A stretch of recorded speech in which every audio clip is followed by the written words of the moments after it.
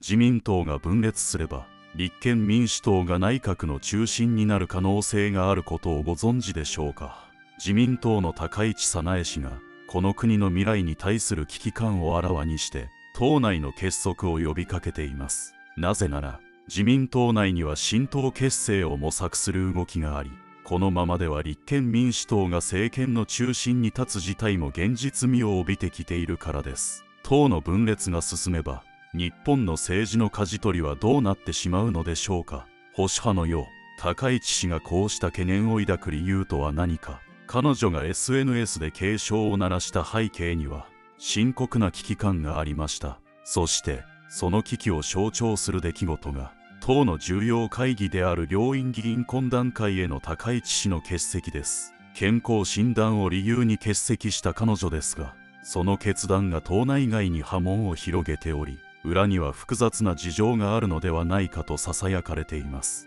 さらにこの会議で彼女の代わりに発言を託されたのが保守層の信頼厚い西田昌司氏です。彼が懇談会で代弁した内容には党内の人事をめぐる際どい駆け引きが含まれておりここにも派閥間の不穏な動きが見え隠れします。また立憲民主党は法務委員長に西村智奈美氏を据え選択的夫婦別姓の実現を目指すなど自民党の保守的な政策に対抗する姿勢を強めています。自民党が結束を維持できなければ立憲民主党が急進的な政策を進め国の価値観を大きく変えてしまうかもしれません。果たして今回の高市氏の発言や党内の分裂の影響がどのように日本の未来に関わっていくのでしょうか。それでは高市早苗氏の自民党結束の呼びかけについてから始めましょう。高市早苗氏は自民党が分裂することの危険性について強い警鐘を鳴らし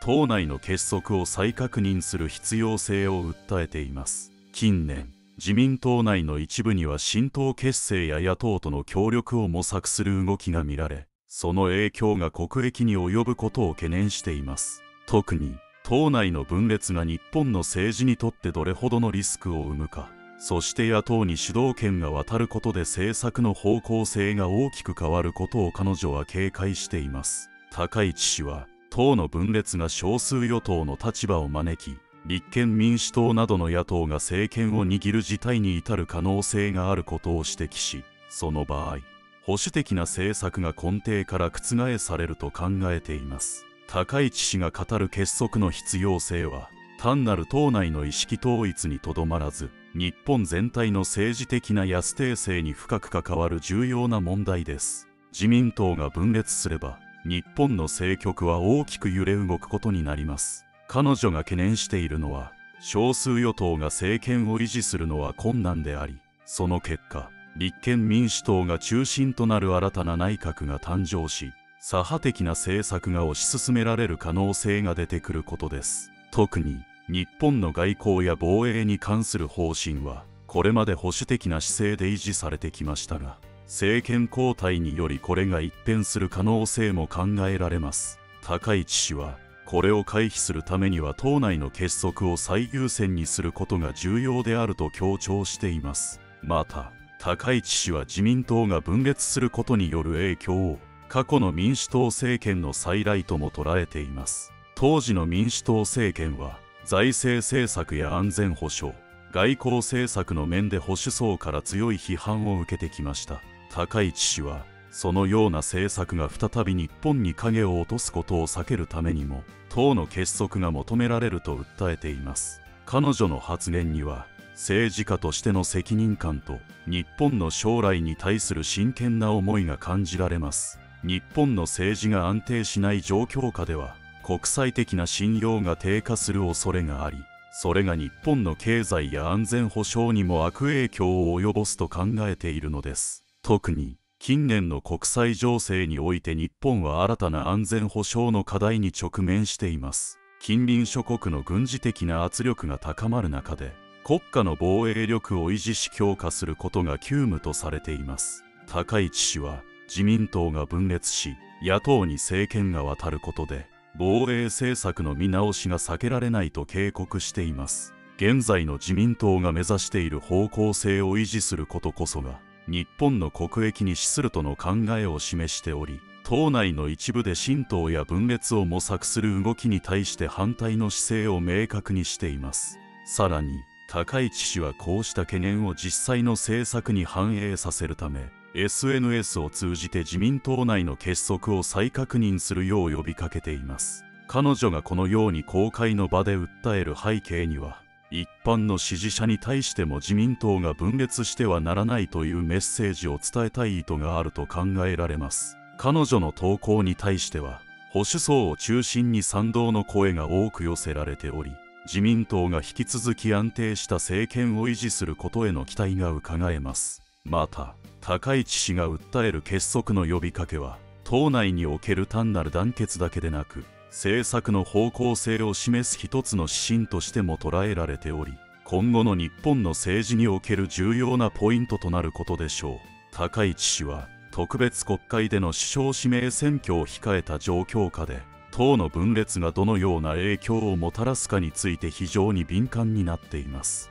選挙の結果次第では自民党が少数派となり国会での主導権を失うリスクが現実味を帯びてくるためです。彼女はこのような事態が現実となれば日本の国会運営や政策決定において保守的な立場が失われ野党が掲げるリベラルな政策が主流となることを懸念しています。このような背景から高市氏の結束の呼びかけは日本の保守層に対する一つのメッセージとも言えるでしょう。次は高市早苗氏の両院議員懇談会欠席の背景についてです。高市氏が今回の両院議員懇談会に欠席したことはただの一つの欠席にとどまらず政局において微妙な波紋を広げています。その理由として公表されたのは人間ドックの予約が重なったためだというものでした。議員である以上健康管理を重要視することは当然ですがこのタイミングでの欠席が正解でどのような意図を持って解釈されたかについては様々な見方があります特に高市氏が石橋の首相指名にかかる懇談会での発言の影響力が期待されていたため欠席した理由が健康診断とされた背景にはより複雑な計算があったのではないかという憶測が広がっています高市氏が懇談会を欠席することで党内外に少なからぬ影響が生まれたと言えます。党内では特に石橋氏自派が高市氏の欠席を歓迎している様子もあり実際に懇談会での議論に直接出席することを避けたことで中立的な立場を保ったという解釈も可能です。このことから高市氏がこの欠席を通じて石橋やその支持層に対して一定の配慮を示した可能性も考えられます。石橋との間に競争意識や政策的な対立があるとされる高市氏がこのように欠席を選択した背景には彼女の政治的な判断力と配慮が働いていると見ることができるでしょう。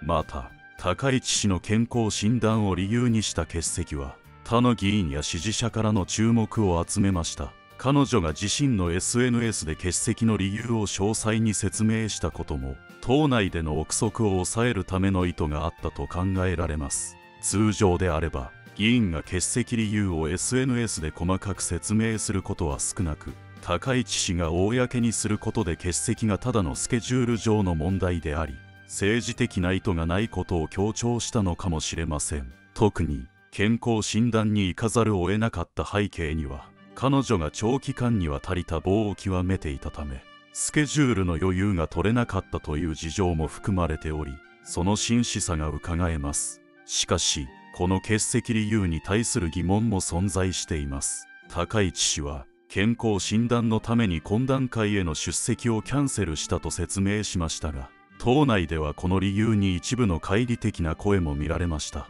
議員懇談会の開催時期と健康診断のタイミングが重なること自体が珍しく高市氏がこの機会を利用して政治的なポジションを保持したのではないかと考える向きもあります。石破派の会合で高市氏が発言することがいかなる影響を与えるかを十分に意識していたのではないかという見方があり単なる欠席ではなく政局を見据えた決断だった可能性が指摘されています。さらに今回の高市氏の欠席により自民党内の石破派やその支持者に対する影響もあったとされています。仮に高市氏が出席していた場合彼女の発言が石破氏の指名選挙に影響を及ぼすことが予想されていました。そのため欠席することで石破氏への対立構造をあえて避けたとする見解も一部にあります。このように欠席がもたらした影響は単に党内にとどまらず国民からも注目を集めることとなり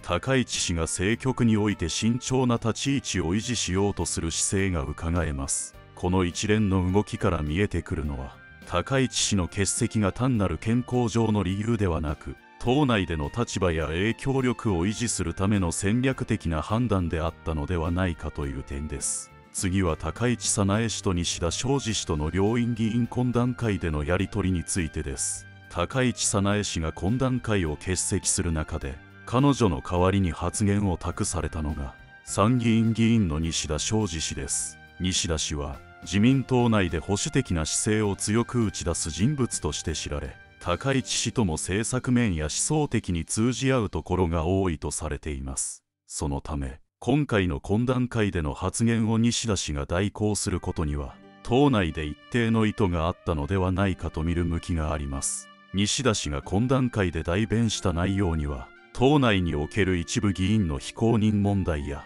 派閥間の微妙な力関係が含まれており今後の党運営に影響を与えかねない要素が多分に含まれていました。高市氏が託した発言内容の中で特に注目されるのは安倍派幹部である萩生田氏の非公認問題についてです。安倍派は自民党内においても影響力の大きな派閥であり政権運営の要所で一役買ってきました。しかし党内の事情によって派閥内の人事や立場が揺らぐ事態が発生しており萩生田氏もその影響を受けて非公認の立場に追い込まれました。非公認という扱いは単なる内部の問題にとどまらず派閥の力関係や今後の党の意思決定に深く関わる問題です。その背景には当時の自民党執行部の一部である岸田執行部がこの人事を主導したという経緯があり森山博幹事長の存在も大きく関係しています。西田氏は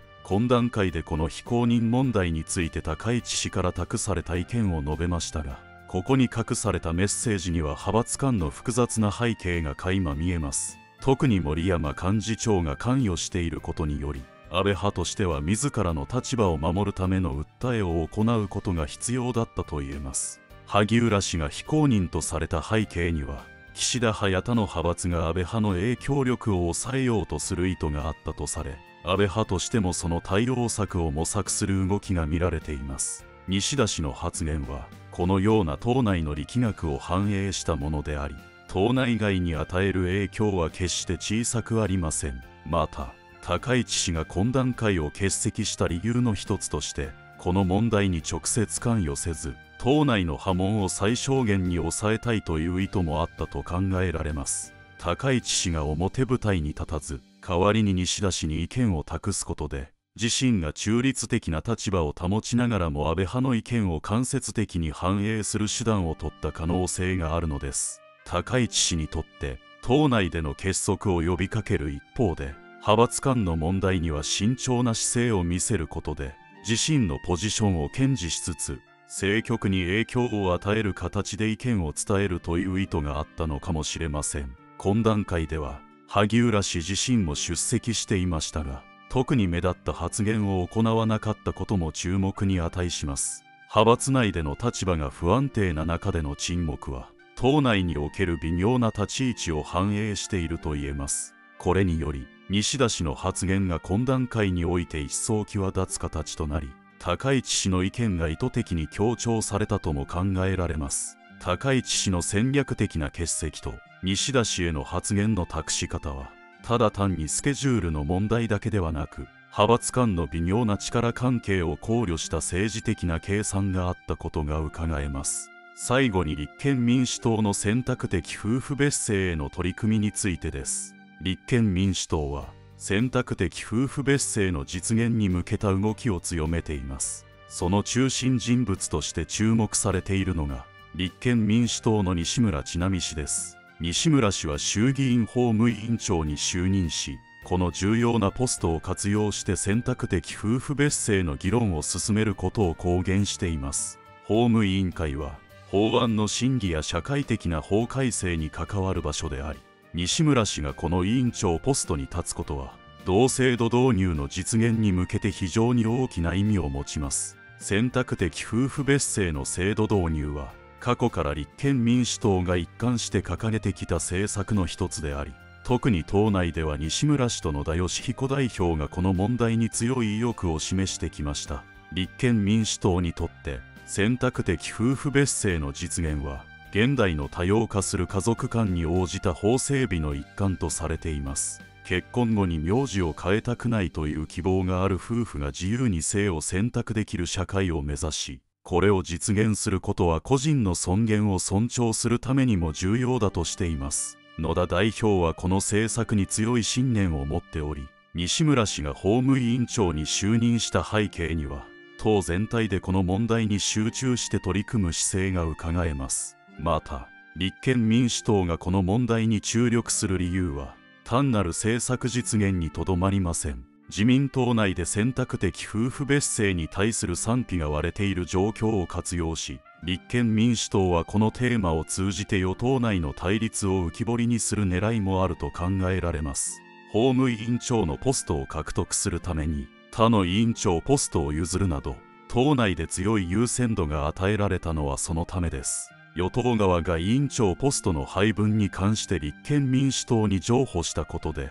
立憲側は法務委員長の重要性を戦略的に活用し選択的夫婦別姓の問題を前面に押し出すことができる立場を得たのです。さらに選択的夫婦別姓に関する議論は単なる家族法の改正にとどまらず社会全体における価値観や個人の権利に関する根深いテーマを含んでいます。近年日本社会では女性の社会進出や多様な家族の在り方が広がりつつありますがそれに伴って家族の名字をどう扱うべきかという議論がより現実的な問題として浮上してきています。このような社会的な背景もあり立憲民主党が掲げるこの制度は次世代に向けた新しい価値観の反映であるとも言えます。立憲民主党がこの政策を推進する一方で自民党内では保守的な価値観を重視する派閥や議員が選択的夫婦別姓に対して強い懸念を示しています。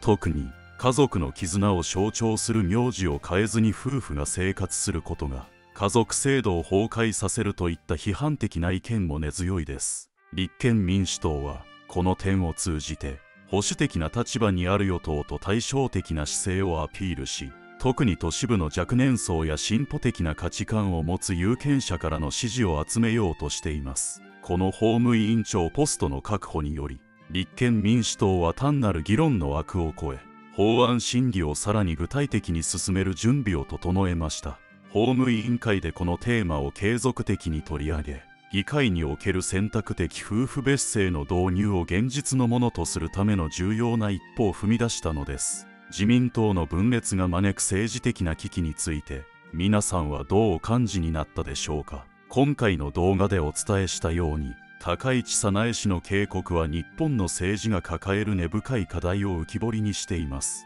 もし自民党が今この結束を維持できなければ立憲民主党が掲げる選択的夫婦別姓や左派政策が急速に進み我々が知る日本の姿が変わる可能性も否めません。高市氏が訴える結束の重要性は党内の問題だけにとどまらず国家全体の方針を左右しかねない影響力を持っているのです。皆さんも伊達民が政権を握った場合の日本の行方についてお考えいただけたでしょうか。次の選挙で本当に日本が大きく変わるかもしれないこの状況で果たして高市氏や保守派が訴える価値観が国民の支持を得られるのか。この先の展開に対して皆さんのご意見をぜひコメント欄でお聞かせください。今回の内容が少しでも考えるきっかけとなれば幸いです。次の選挙で自民党が再び政権を維持し保守的な日本を守り抜くのかそれとも新たな政権が新しい道を開いていくのか